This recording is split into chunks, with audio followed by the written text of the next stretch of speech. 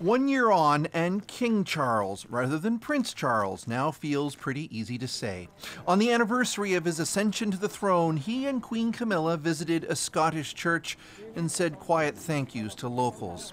We recall with great affection her long life, devoted service. The King's official remarks about the anniversary of his mother's death came in an audio recording released along with a 1968 photo of her.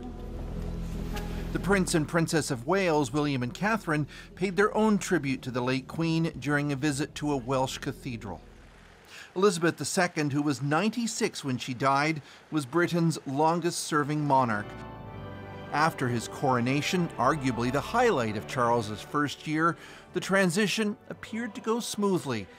But at 74 years old, the king's plans going forward are harder to discern, says this royal historian. Charles's best bet, as far as anything can be, is for him to steady the ship, to make sure that there's going to be a monarchy when he finishes, and to leave the door open for William to come in and do any more major change that's needed.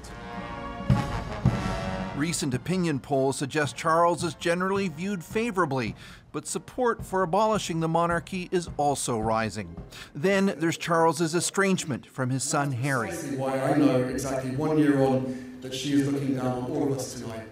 He flew in and out of London for a charity event where he paid tribute to his late grandmother, but he didn't see the king. As yet, there is no permanent memorial to the Queen, but this day came with cannon salutes, and from Britain's Prime Minister that said one year on, the scale of her service to the nation and the Commonwealth is appreciated more deeply than ever. Chris Brown, CBC News, London.